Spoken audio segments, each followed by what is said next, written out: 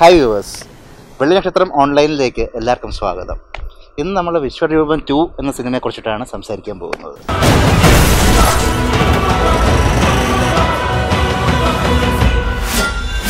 ഏറെ നാളത്തെ കാത്തിരിപ്പിനൊടുവിൽ വിശ്വരൂപം ടു ഇന്ന് റിലീസായിരിക്കുകയാണ്. ഏറെ നാളെന്ന് വെച്ചാൽ ഏതാണ്ട് അഞ്ച് വർഷത്തോളമായി വിശ്വരൂപം വൺ ഇറങ്ങിയിട്ട് അപ്പോൾ എന്താണ് നോക്കുമ്പോൾ ഒന്നുമില്ല.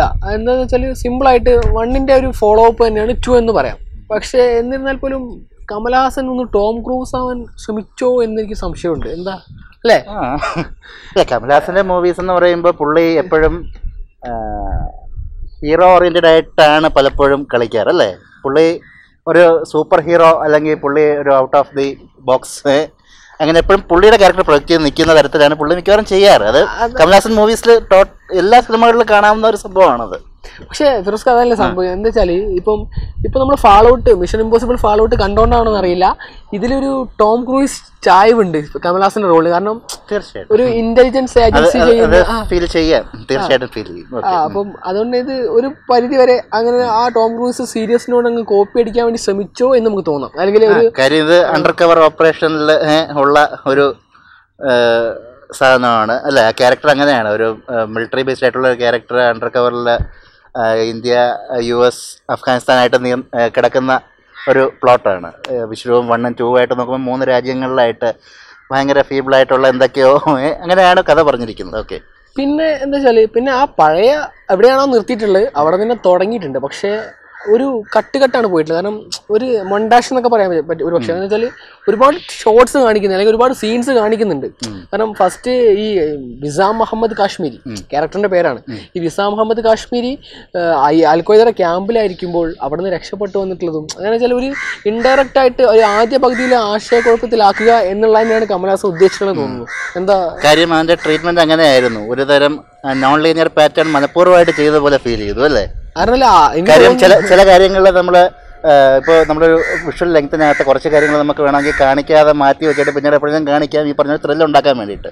അല്ലാതെ മറ്റുള്ള മറ്റെന്തെങ്കിലും ഫീൽ ചെയ്തായിരുന്നു? ആ ഒരു എഡിറ്റിംഗ് പാറ്റേണിൽ വന്ന ഒരു ആ ഇത് എങ്ങനെയാന്ന് വെച്ചാൽ ഇപ്പം സാധാരണ നമ്മളിപ്പം ഈ ഒരു ഹോളിവുഡ് സിനിമകളിൽ കണ്ട പോലെ ഒരു എപ്പോഴും നമ്മളൊരു പ്ലാൻ അല്ലെങ്കിൽ ഇവർ ഇപ്പം കമൽഹാസൻ അല്ലെങ്കിൽ ഹീറോ ഒരു പ്ലാൻ വെക്കുന്നു. എല്ലാവരും അറിയ ഒരു പ്ലാൻ വെക്കുന്നു. അതിന്റെ പുറമെ ഹീറോ ഒരു എക്സ്ട്രാ പ്ലാൻ വെക്കുന്നു.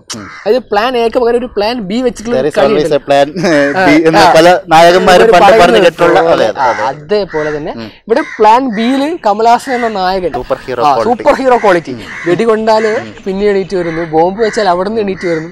അപ്പം തീർത്തും അങ്ങനത്തെ രീതിയിലേക്ക് വിശ്വരൂപത്തിന്റെ ആ ഒരു പണ്ടത്തെ അല്ലെങ്കിൽ ഫസ്റ്റ് വിശ്വരൂപത്തിലുള്ള ആ ഒരു വിസാ മുഹമ്മദ് കാശ്മീരിയുടെ റിയലിസ്റ്റിക് എന്ന് മാറി. വിഷാ വിസാ മുഹമ്മദ് കാശ്മീരി സെക്കൻഡിലേക്ക് എത്തുമ്പോൾ പക്ക സൂപ്പർ ഹീറോ ആയിട്ടുണ്ട്. ശരിക്കും വലിയ വലിയ കാര്യങ്ങൾ ചെയ്യുന്ന കഥാപാത്രങ്ങൾ നമ്മൾ പൊതുവെ കണ്ടിട്ടുള്ള സൂപ്പർ ഹീറോയ്ക്കായിട്ടാണ് അപ്പോൾ അതൊരു ഒരു നെഗറ്റീവായിട്ടല്ല പറയാൻ ഉദ്ദേശിച്ചത്. ആ ക്യാരക്ടർ അങ്ങനെയാണ്. He's a super human character எந்த மதத்தையும் சார்ந்து இருக்கிறது பாவம் இல்ல பிரதர் ஆனா தேச துரோகியா இருக்கிறது தப்பு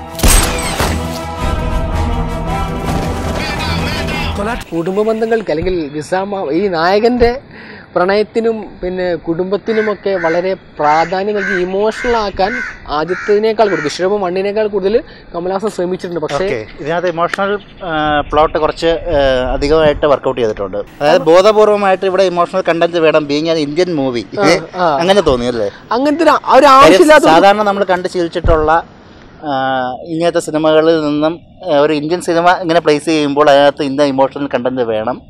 എന്നാലേ ആൾക്കാർക്ക് ഇഷ്ടപ്പെടൂ. എന്ന് കരുതിക്കൊണ്ട് മനഃപൂർവമായിട്ട് ചേർക്കപ്പെട്ടതുപോലെ ഫീൽ ചെയ്തു. തീർച്ചയായിട്ടും. കാരണം അവിടെ ഒരു സീൻ ഉണ്ട്. എന്ന് വെച്ചാൽ അമ്മയെ കാണാൻ പോകുന്ന സീൻ ഉണ്ട്. എത്രയോ സിനിമകളിൽ പറയാണ് ആ സീൻസ് എനിക്ക് ഇഷ്ടപ്പെട്ടു. ഇപ്പോൾ വിശ്വരൂപം വണ്ണും ടൂവും ചേർത്ത് വെക്കുമ്പോൾ ഒരു കഥയാണ് ഫുള്ളായിട്ട് പറയുന്നതെങ്കിൽ പോലും അതിനകത്ത് വണ്ണിനും ഉള്ള ഒരു ഏറ്റക്കുറച്ചിലുകളെന്ന് പറയുന്നത് ഫസ്റ്റിനകത്ത് ഇമോഷണൽ കണ്ടന്റ് കുറവും സെക്കൻഡിനകത്ത് ഇമോഷണൽ കണ്ടന്റ് കൂടിപ്പോയി. കൂടിപ്പോയെന്നല്ല ആവശ്യമില്ലാത്ത സ്ഥലത്തെ പ്ലേസ് ചെയ്ത ഒരു ഫീൽ വന്നു അല്ലേ? അപ്പോൾ ഇതിലെ കൂടെ കൂട്ടി വെച്ച് പറയേണ്ട ഒരു കാര്യം എന്ന് വെച്ചാൽ പുള്ളി കമൽഹാസൻ കുറച്ച് നാൾക്ക് മുമ്പ് പുള്ളിയുടെ പാർട്ടി അനൗൺസ് ചെയ്തിട്ടുണ്ടായിരുന്നു. Political party Makkal Needhi Maiam. അപ്പോൾ അതിനായിട്ട് പുള്ളി തമിഴ്നാട്ടിലുള്ള എല്ലാ ജില്ലകളിലും പോയി പാർട്ടിയുടെ മീറ്റിങ്ങുകൾ കണ്ടക്ട് ചെയ്തിട്ടുണ്ടായിരുന്നു ആൾക്കാരെ കണ്ടിട്ടുണ്ടായിരുന്നു. അപ്പോൾ ഒരു ജനകീയമായിട്ടുള്ള കൂട്ടായ്മയും അവരോട് സംസാരിക്കുന്നത് കാര്യങ്ങളൊക്കെ ഉണ്ടായിരുന്നു. അപ്പോൾ ഇതെല്ലാം ഈ സിനിമ തുടങ്ങുന്നതിന് മുമ്പായിട്ട് പ്ലേസ് ചെയ്തിട്ടുണ്ട്. സിനിമയ്ക്കകത്ത് പ്ലേസ് ചെയ്തിട്ടുണ്ട്. കമൽഹാസന് പറയാനുള്ള തന്റെ പൊളിറ്റിക്കൽ കാഴ്ചപ്പാടുകൾ എന്താണ് എന്നുള്ളത് ഭയങ്കര വേഗമായിട്ട് കുറേ വിഷ്വൽസിലൂടെ പുള്ളി കാണിച്ചു വെച്ചിട്ടുണ്ട്. തമിഴ്നാട്ടിൽ വർഷങ്ങളായിട്ട് കണ്ടുവരുന്ന ഒരു രീതി എന്ന് വെച്ചാൽ പൊളിറ്റീഷ്യൻസ് എല്ലാ മാധ്യമങ്ങളെയും എന്ന പോലെ തന്നെ സിനിമയും പണ്ട് തൊട്ടേ യൂസ് ചെയ്യുന്നുണ്ട്. For community communicating their views പണ്ട് തന്നെ ഈ പറഞ്ഞ പോലെ എം ജി ആറിന്റെ കാലത്ത് കരുണാനിധി എം ജി ആർ മുതലായ ആൾക്കാരെല്ലാം സിനിമയെ തന്നെയാണ് മാധ്യമമായിട്ട് കണ്ടിരുന്നത്. അവർ ജനങ്ങളുടെ ഇടയിലേക്ക് ഡയറക്റ്റായിട്ട് ഇടിച്ച് കയറിയതും സിനിമയിലൂടെയാണ്. അവർക്ക് പറയേണ്ടത് കരുണാനിധി എഴുത്തിലൂടെയും എം ജി ആർ തന്നെ മുഖം വെച്ചും ഒക്കെയാണ് അവരുടെ കാഴ്ചപ്പാടുകൾ ജനങ്ങൾ ജനങ്ങളിലേക്ക് എത്തിച്ചുകൊണ്ടിരുന്നത്. അപ്പോൾ ഇതിനകത്തും ഈ രണ്ടായിരത്തി പതിനെട്ട് പറയുന്നില്ല യൂസ് ചെയ്തിട്ടുണ്ട്. സിനിമ തുടങ്ങുന്ന സ്ഥലത്ത് ഈ പറഞ്ഞ പോലെ തന്നെ മക്കൾ നീതി മയ്യ എന്ന് പറഞ്ഞ പാർട്ടിയെക്കുറിച്ചും അയാളുടെ ജന ജനങ്ങളായിട്ടുള്ള ഇൻട്രാക്ഷൻസും ഒക്കെ എന്തിനു ഉൾപ്പെടുത്തി എന്നുള്ളത് ചോദിച്ചു കഴിഞ്ഞാൽ ആ സിനിമയായിട്ട് ബന്ധപ്പെട്ട ഒന്നുമല്ല.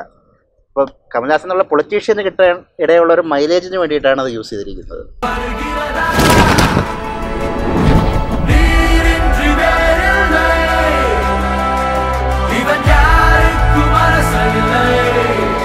എന്ന നായകനെ കുറച്ചുകൂടി ജനകീയമാക്കാൻ വേണ്ടി ചെയ്ത ഒരു പടം എന്ന് വേണമെങ്കിൽ അതാണ് വിശ്വരൂപം ടു എന്ന സിനിമയെക്കുറിച്ച് ഞങ്ങൾക്ക് തോന്നിയത് അഭിപ്രായങ്ങളും അഭിപ്രായ വ്യത്യാസങ്ങളും ഒക്കെ നമ്മൾ പറഞ്ഞു. പിന്നെ കാണുന്നവന്റെ കണ്ണിലാണ് ഒന്ന് നല്ല നല്ലതാവുന്നതും ചീത്തയാവുന്നതും അല്ലേ? ആ പക്ഷേ ഒരു മൂന്ന് മണിക്കൂർ ഇരുന്നിട്ട് എന്താ പറയാ ഒരു ഇമോഷനും ലവും ഫ്രണ്ട്ഷിപ്പും അതുപോലെ ആക്ഷൻ ഒക്കെ ആസ്വദിക്കാൻ നിങ്ങൾ തയ്യാറാണെങ്കിൽ നിങ്ങൾക്ക് ധൈര്യമായിട്ട് വിഷയപ്പെട്ടുകൊണ്ട് ടിക്കറ്റ് എടുക്കാം. അപ്പോൾ തീർച്ചയായിട്ടും നിങ്ങൾ പോയി സിനിമ കാണുക അഭിപ്രായങ്ങൾ ഞങ്ങൾ കമന്റുകളായി രേഖപ്പെടുത്തുക. ചാനൽ സബ്സ്ക്രൈബ് ചെയ്യുക ലൈക്ക് ചെയ്യുക ഷെയർ ചെയ്യുക. നന്ദി നമസ്കാരം.